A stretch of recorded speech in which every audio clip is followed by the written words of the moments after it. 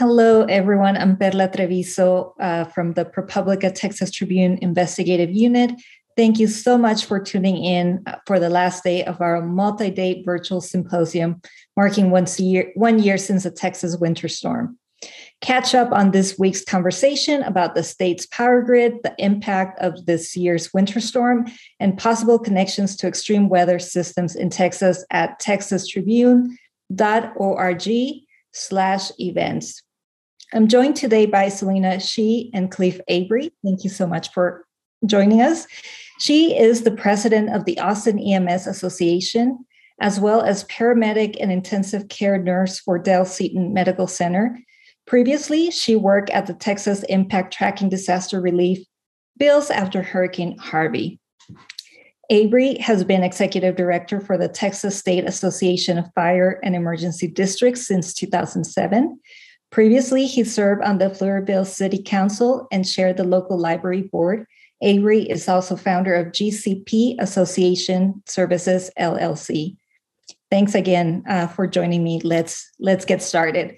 You know, we've, we've, we've been talking a lot about the power grid, um, about the reliance of our energy system, about the possible connections to climate change or not of what we saw.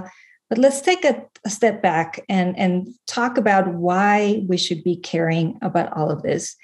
Both of you were either directly on the ground or in touch um, with other professionals on the ground. And we can start with you, Avery, uh, giving us more of that statewide perspective of what you were hearing that week and and I guess we'll we'll start also by can you tell us a little bit about the Texas State Association of Fire and Emergency Districts for for those of our viewers who are not as familiar with it uh, which is probably about 97.5% I would imagine. The um, the uh, uh, as we call ourselves, the Texas State Association of Fire and Emergency Districts, represents uh, ESDs, uh, Emergency Services Districts. Uh, emergency services districts are local governments created by voters to provide fire protection, uh, emergency medical response, or both. And uh, they are political subdivisions of the state, just like a city or a county, uh, municipal utility district. Uh, and uh, they are overseen by five commissioners that are either appointed or elected. they vary in size and in complexity. Uh, we have a saying in SAFE-D uh, if you've seen one ESD, you've seen one ESD. Uh, the uh, one of the ESDs in Northwest uh, Harris County uh, has the population of the city of Tulsa. another out in far west Texas in Brewster County, they only have a couple of thousand people in that district, but it covers an area that is larger than the state of Delaware. Uh, 10 million Texans live inside uh, ESDs. That is greater in population than 41 of the states.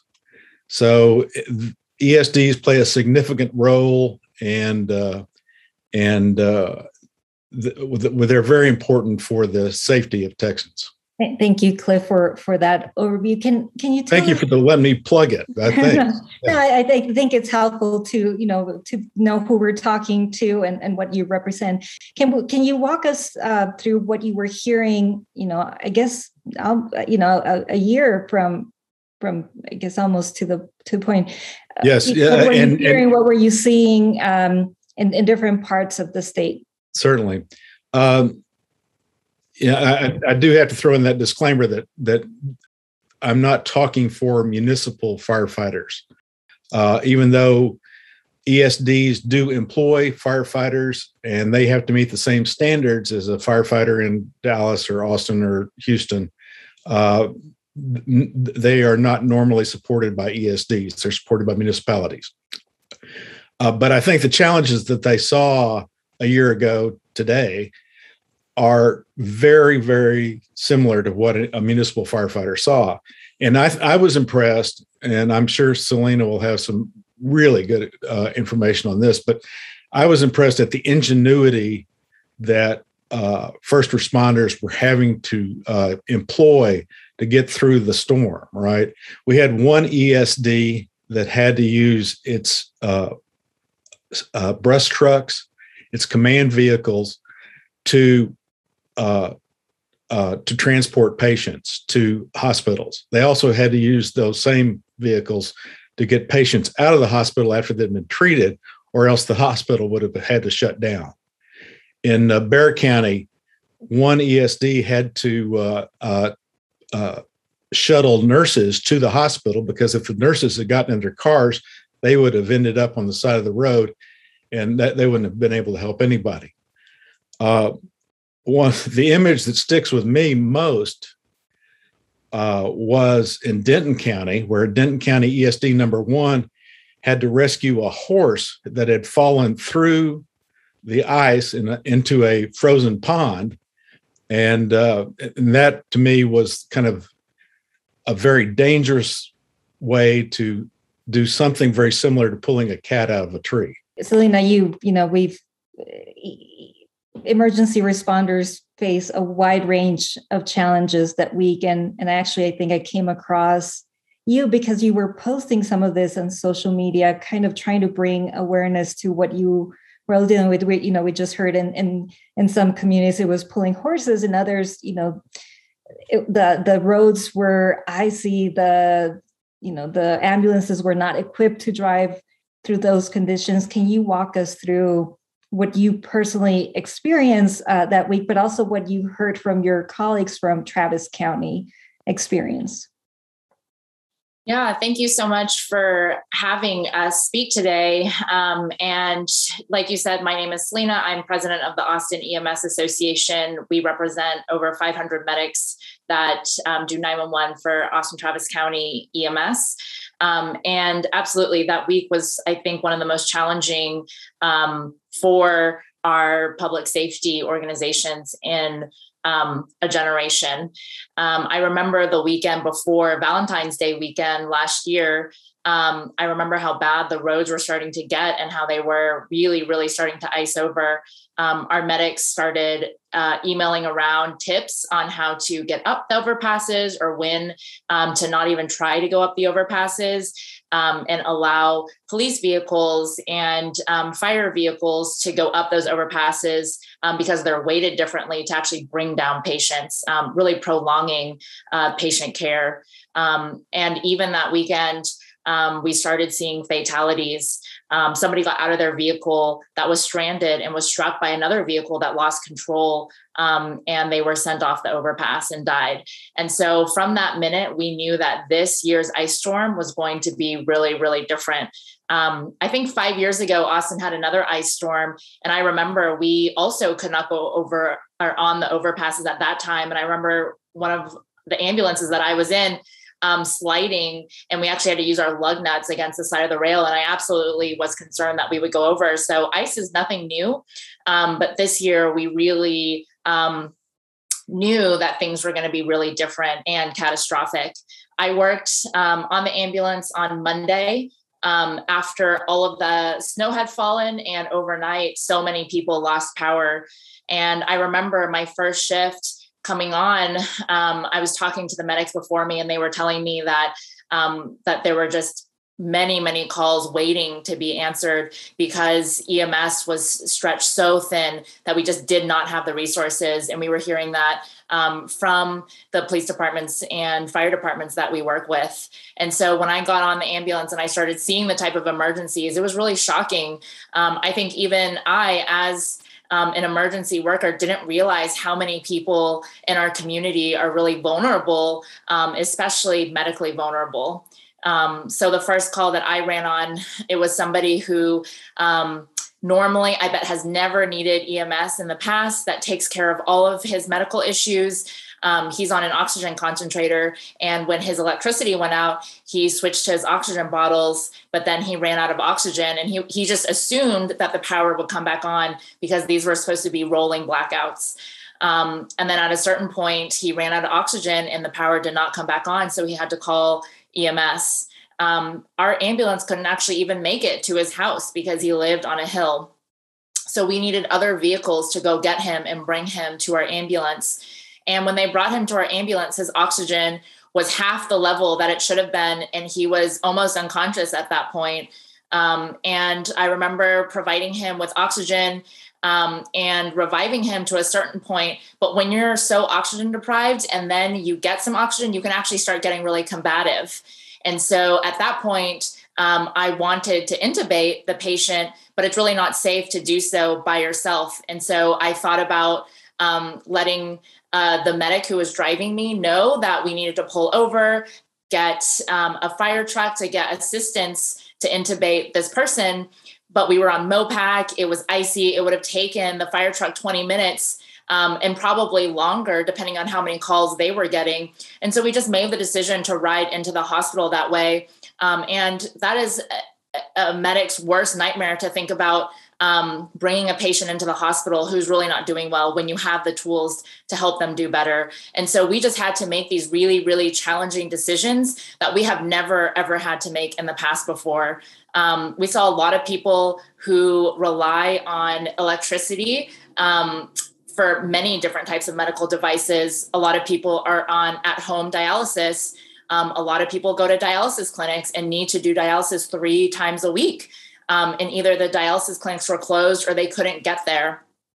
Um, I ran one patient who he left his medications at work um, and he has a really painful form of cancer um, in his bones. And so he had to rely on EMS to get him to the hospital um, to be given those pain medications um, that, uh, that we would not be able to give him for that long period of time that he would need them before the roads became passable um, there were also just so many different stories of people who ran out of oxygen who couldn't use their CPAP machines on at night. I think CPAP is a very, very common medical device that many um, of our community use. And when the power went out, a lot of people um, were unable to sleep, unable to get the oxygen that they need at night. And so we just learned so many people um, really do take care of their own medical needs, but rely on oxygen um, that week, and and we heard so many terrible stories, and I, I could really go on and on, but I, I think yeah, there are a lot was, of other questions. No, there was one that um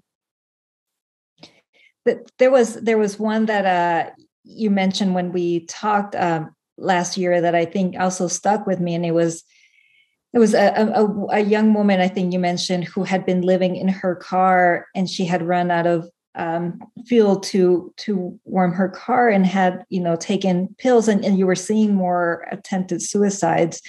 You know can you talk a little bit about that? And then i'll i'll, I'll jump to to cliff as well yeah I, I think that's a really good category that we don't talk enough about is the mental health struggles that we saw during that week um, I absolutely took people to the hospital that were having panic attacks, that were just tired of being so cold and not knowing when the electricity would come back. Um, the particular case that you're talking about is somebody um, who is experiencing homelessness, but did have a car um, was actually at the time living um, at her workplace. Um, her boss knew about it, and it was supposed to be a short term option until um, she could get a place. And she said that she just felt really alone um, and that it was too much for her. And so she decided to take all of her medications. Um, and it, you know, I, I think we really don't talk enough about some of the mental health um, crises that so many people were in during that ice storm because of the um, lack of access to electricity, water, to loved ones, um, et cetera. It was it was a very very hard week for a lot of people. For I think the whole community.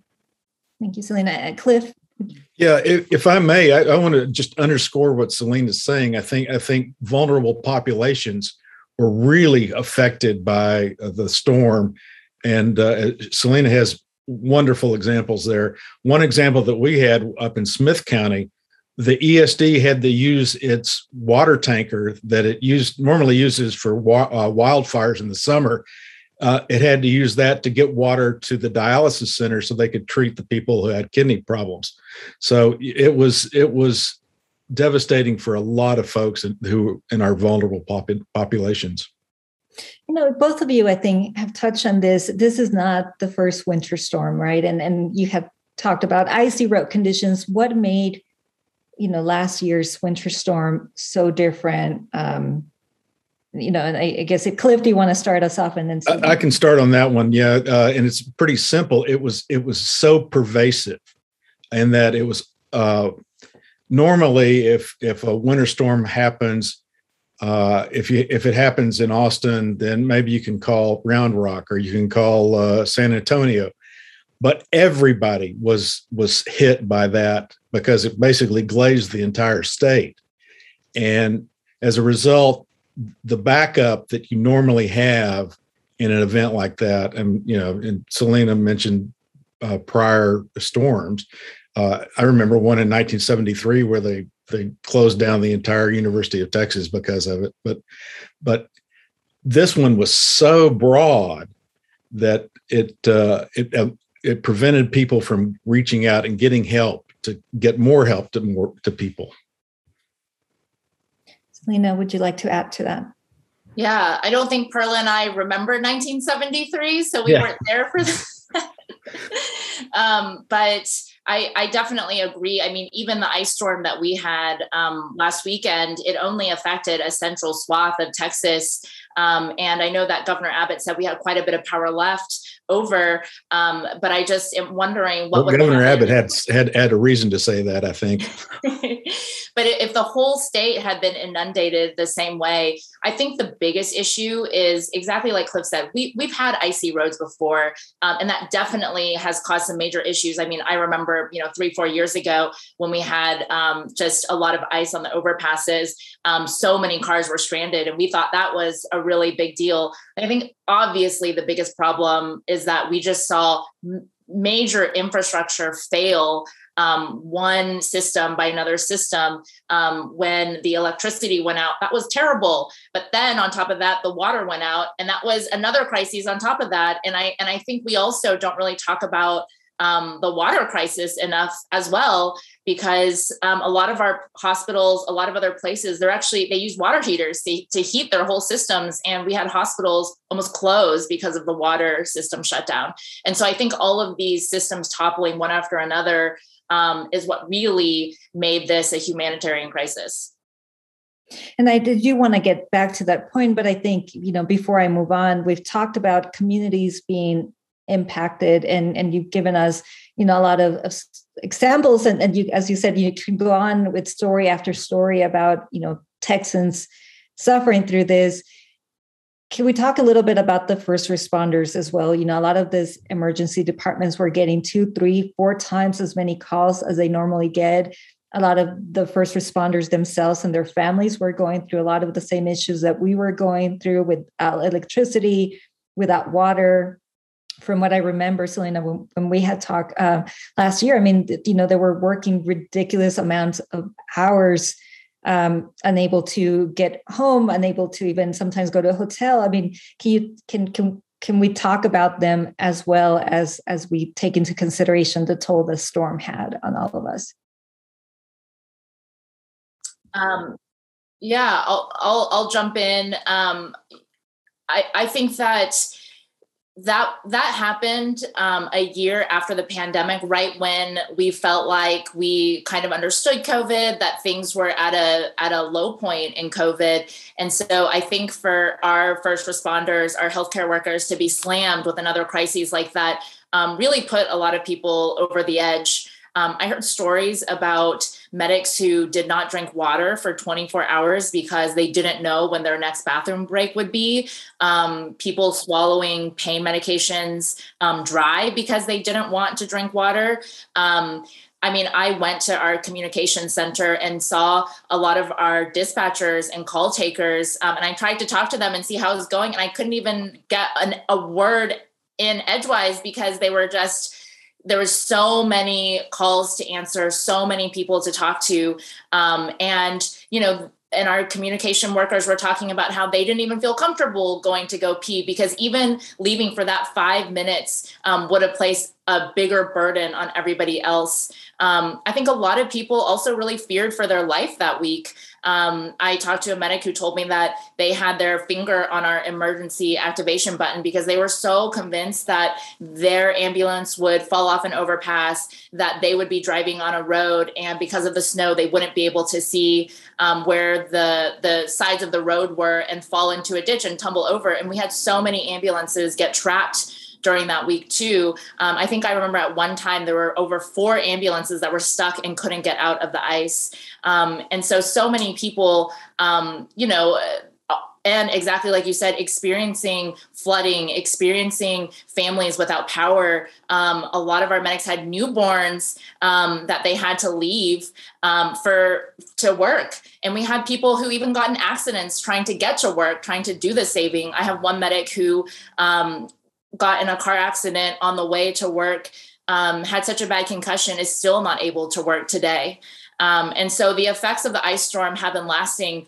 And I think one of the other things that we um, that we talk about as a community is just this lack of trust in our infrastructure and we saw our local governments we saw our state governments really falter in these in this crisis. And so i think a lot of our medics um, and first responders you know even in ems although um, we are the social safety net although people call us in their biggest emergencies, medics also know that we can call a commander, we can call police officers, we can call firefighters for help if we if we need them. And I think during this week we really felt like there, there was nobody else to call. Um, because if we tried to call for um, police to come, we didn't know if they would be available. If we tried to call for a commander to come, we didn't know how long it would take or if they would be available. And we just saw a lot of the systems that we take for granted really fail. And, and I think it really shook a lot of our medics to the core. Absolutely. Yeah, I think I, from uh, I think our, the experience of most of the ESDs were very similar to that, in the, that they were the their responders were stretched very thin, and we're seeing from our ESDs now a whole lot of uh, uh, re- adjusting to make make sure that doesn't happen quite as bad as it did, does it did last time. Uh, they're they're putting cots into uh, fire stations. They're uh, getting MREs. They're making sure there's adequate water supplies, and um, so that they're they're they can station at. They may even bring their families to station at the, the fire station, and uh, they don't have to worry about being out on the on the roads. Thank, thank you, Cliff. Um, you know why, you know, why should Texans prepare for another winter storm? And I think you know that's also the title of our discussion today. Can we? Can, who would want to take that? Uh, Selena, do you want to start us off? You know, why should we? Why should we prepare for another one? Yeah, I, I think what we're seeing with climate change is that it, it's not that the earth is going to just get hotter and that's all we're going to see that texas summers are going to be worse i think what we're seeing is really unpredictable weather and so you have tornadoes in places that you wouldn't expect them you have more devastating um, climate events. And I think the ice storm um, was a really good example of that. And I think that while people understand that it can get really cold, it can ice, that's happened before, even in the 70s, um, that they don't expect our water to go out. They don't expect our power to go out. And so I, I, I think we have to recognize that we can't always expect what's going to happen next. And so that's why we have to be prepared because we can't expect that we're going to have exactly another ice storm um, and everything's going to follow exactly like it did in 2021. Um, and so people have to be individually prepared because we just don't, we can't super easily predict what's going to happen if we're only looking at what's happened to us in the past. Exactly. That's there's a saying that uh, generals always prepare for the the previous war, which is why they really screw up on the next war. And uh, if you end up uh, planning for Uri uh, for the next Uri to be exactly like the last Uri, you're you're going to be in, in real real trouble. Uh, fire uh, fire departments and utilities all use all hazards consequence management planning, and that is that that no matter what the hazard is, there are consequences that they know is going to be coming loss of electric power, uh, loss of water and wastewater uh, service, uh, loss of fuel supplies, loss of food uh, availability. All those can come for whether it's whether it's uh, Winter Storm Uri or just a blizzard in Amarillo or a tornado in Fort Worth or a hurricane on the Gulf Coast. All those consequences can happen. And so everybody in Texas needs to be prepared for that because it's going to happen again. It, it, happened. It happened before climate change became an issue. It's it it will happen again. And even if you say that the uh, uh, that it's not going to be that's going to be worse. Yes, it could be worse, but it's still going to happen. And if it's a if it's a uh, you know a lot of people when their hurricane season comes, they look out and they go, oh, it's only a Cat one hurricane. We don't have to worry about it. Well, a Cat one hurricane that goes through your living room uh, might as well be a Cat five because you are in real trouble. And so you have to be prepared for even a little minor consequence, and that's uh, uh, that's absolutely essential. This brings us to, to another point that I think uh, both of you, and, and we've all made it at different points in this conversation, is about all these different systems. You know, any shortcoming that different systems face compounded each other, right? And I think we we tend to look at things in silos, emergency systems, or you know what our lawmakers are doing at the state level uh, state level what our politicians are doing at the federal level and i think in situations like what we saw last year you know if there were any failures or shortcomings they were very evident you know for example with hospitals uh, running out of water and that affected ambulances trying to deliver patients or uh, one big series that we focused on one investigation that that we did was on carbon monoxide poisonings. And and you saw you know through our reporting we found we we found how all these shortcomings came together to make the situation so much worse to what experts told us was the you know the biggest epidemic co poisoning epidemic in recent us history and it's not that um, all these things are isolated right we saw people who you know the vulnerable communities we were talking about that we were all affected by Uri, but we were all able to respond to it differently, right? I, I still had a car that I could go to. I had the financial means to move to a hotel if I needed to. Um, I did not lose water, et cetera. So, you know, looking at all of that together, why is it important that we, when we try to address the, the problem, that we look at it holistically? And I'll start with you, Selena, or, or Cliff, if you want to take. Uh, yeah, I'm, uh, I'm, I'm really chewing on the bit on this one, right? because I don't think I don't think silos is not exactly the right uh, uh, analogy. It's real because silos can stand up there and, and, they're they're fine out in the middle of the cornfield or wherever. They're really more dominoes because what happened was the natural gas domino fell that brought down the electrical grid domino, which brought down the water domino, which fell right in the middle of the uh, emergency response do- domino and the healthcare domino and all those the dominoes really fell hard in, in winter storm uri and i think as you say they've got to start communicating better. Now the legislature last year passed senate bill 3 which was the measure to try to to address some of that. And they, they that does address there has to be some communication between the natural gas industry and the electrical generating industry and that's great. But there's not in Senate Bill 3 any directive to uh, water utilities to start talking to their fire departments that that that rely on water. Uh, you might, you know, water is pretty important to putting out fires, and uh, uh if you look at Senate Bill three, it's 51 pages of it. The word fire is only in there once, and it's in in terms of a uh, uh, a directive to TDEM to put out some information about how to deal with emergencies like fire. So the, it, what the water utilities and the fire departments need to be talking to each other about what happens when there isn't fire, uh, water to fi- put out fires.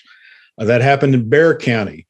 Uh, there was a big apartment fire. Uh, maybe somebody brought their hibachi in to tur- turn on, use that for heating, and uh, but the uh, fire hydrants were frozen, so they had to go get their water tender again, that usually used for wildland fires, to, so they could could uh, address that in the middle of uh, in the middle of San Antonio. Um, that communication needs to happen. Those those dominoes need to be talking to each other. You know, and, and one of our our readers and participants did send a question asking. Um, you know what what tangible ways is the state in its various jurisdictions taking care of its most vulnerable populations especially low to no income and and the homeless. And i think you know even the little data that we have for example regarding co poisonings what we found from the state's health department is that the reported cases 42% of them were children nearly three-fourths of them were uh, black asian and and or hispanic um, texans. You know uh, in terms of the power outages there was a report that found that areas that had um, a higher share of, of communities of color were four times i believe more likely to go to have a power outage. You know what what um what can can the state and i think the messaging and, and we've talked about this right? How do you reach this community? So you know uh, george to to answer george's question and maybe selena you can take this what are some tangible ways um, that the state and various jurisdictions you know can can take care of of those who are the most vulnerable during during situations like this yeah, I, I really love Cliff's um, analogy about the dominoes, and that's exactly how I use to describe each system coming down. I think one thing, um, especially when we're talking about people who are responsible for vulnerable communities, is that we all have to be a little bit emergency hardened. Um, one of the things that we saw that was almost another catastrophe is a lot of nursing homes lost power um, and they didn't have the staff um, that could come in. And so one nursing home asked EMS to evacuate all 150 patients. Um, and that was just going, that would have completely shut down um, a few hospitals. If you think about ER's capacities being, you know, maybe 50 people, depending on how large, um, that's just a back of the envelope number. Um, but you know, our medics were able to think quick on their feet. They found a great room that had a fireplace. They were able to light it and move all of the residents into that um, into that room. But the state Lege did work to make sure that nursing homes um, and other places that are responsible for a lot of people do have generators and backup generators. But I think a lot of these um, types of places that are responsible for a lot of people um, need to make sure that they're better prepared for these types of things. Um, as far as how do we make resiliency and low income populations and uh, other places that um, have that had a high proportion of um, uh, water going out, power going out. Um, I think that all communities need to do a better job at translating more information um, and also reaching out to community leaders in those communities um, to help get the word out. Um, it's in my old job at Texas Impact, we created um, a bulletin for churches to kind of have a phone tree to really know all of their folks that are vulnerable and make sure that everybody gets touched. And so I think communities are really going to have to take it upon themselves to make sure that um, they have the means to reach out to everybody um, and know what the needs of the community might be. Um, I don't think there's a perfect state solution um, because it, you know, this the state solution is really fundamental to everything. Um, make sure you know expand Medicaid, um, make sure that we have broadband. there are a lot of things that aren't specifically related to emergency, but that just do the best to bring up all boats. The the uh, the state did pass uh, Senate Bill 9 968 last year, which requires cities and, and uh, counties to uh, make checks on people who are registered as vulnerable uh, entities. Uh, and there, there, there's three checks they have to make. One can be a robocall. If if they don't get an answer, then that then they have a in-person call. If that doesn't happen, then you send somebody out to their their uh, their place. I I'm not an attorney, but there was it, it, it seemed to me there wasn't exactly any indication of what you do if they're not good when they get out and do that check, right? So I think uh, TDEM will be making some adjustments or some regulations uh, around that uh, and so that will be interesting to see where that comes out. Thanks, Cliff. I didn't know about that. Um, uh, can I just ask a question? If, if you know, so, because the other question is, you know, in these emergencies, all of our emergency services are already completely tapped anyway. I know, yeah. And so, exactly. how are they going to also touch? Uh, I believe I, I, believe the Texas Association of County has been talking about that very same thing. Um, uh, would be important to follow up, right? But we, we're running a little short on time, and I do want to leave participants with practical advice and tips. So I'm sorry for for the interruption, but I do want if, if you can both uh, cite a couple of you know how can we better prepare. We've been talking about we need to prepare for this. You know what is some practical advice that you have for for our viewers um, and attendees? A couple of points each for me, I think we saw with this ice storm, um, our community does know how to be prepared. Um, I saw, I mean, a lot of people were at our HEBs getting their groceries in advance. Um, people knew to buy batteries. Um, we saw generator sales going through the roof. And so our communities do know um, what they need to do to be prepared. Um, it's as basic as having a preparedness disaster kit um, it's as basic as just knowing where you can get the latest information and make sure that you do have access to backup power. Um, it's making sure that you have enough medications.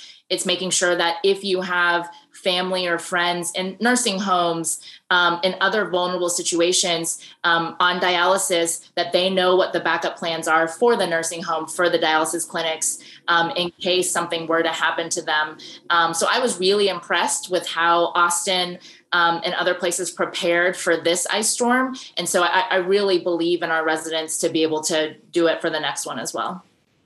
I have a couple of thoughts. Yeah, uh, I think in, I think the message that, or the well, the takeaway that we got from Winter Storm Uri is that you have to be kind of self reliant because help may not be coming really fast.